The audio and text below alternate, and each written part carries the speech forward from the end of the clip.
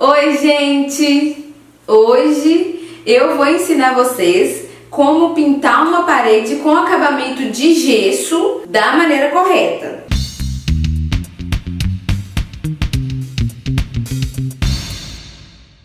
Na verdade, gente, esse vídeo ele serve para qualquer parede, mesmo que não seja de gesso. A única diferença é o selador de gesso que a gente vai passar antes.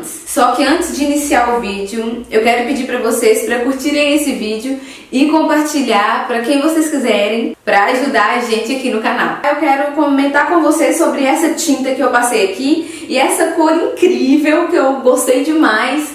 Só que eu não vou poder passar o nome da cor para vocês, porque foi uma mistura que a minha mãe fez há um tempo atrás. A tinta era branca e ela colocou um pouco de pigmento preto. Misturou. Aí a gente pintou uma parede de cinza. Aí depois a gente foi e colocou um pouco de pigmento vermelho. Aí ela ficou dessa cor maravilhosa. Então é isso, é uma tinta branca com um pigmento preto, depois um pigmento vermelho, que ficou assim. Então vamos botar a mão na massa logo. Gente, a primeira coisa que nós vamos precisar fazer na nossa parede é lixar o gesso. Caso a sua parede já esteja lixada, tudo certinho, não precisa fazer essa etapa. Mas essa parte é muito importante para o acabamento final. Depois que a gente lixou, nós vamos tirar o pó da parede. Eu vou tirar o pó da parede com uma vassoura mesmo. Pode varrer bem a parede para sair todo o pozinho. Se você quiser, pode até passar um pano depois, mas eu vou só passar a vassoura mesmo. Pronto, gente, com essa etapa já finalizada, nós vamos cobrir com fita crepe os cantinhos que a gente não quer que ultrapasse.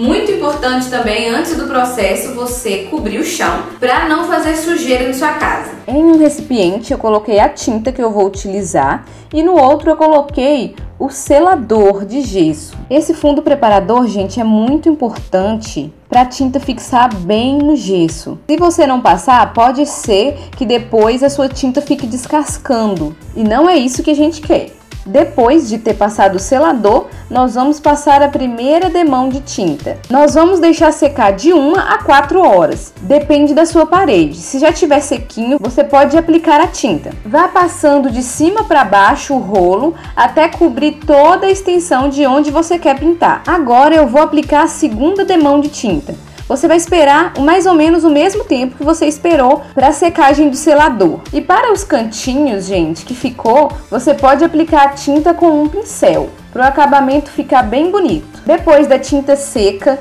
cerca de duas horas depois, nós vamos tirar a fita de proteção.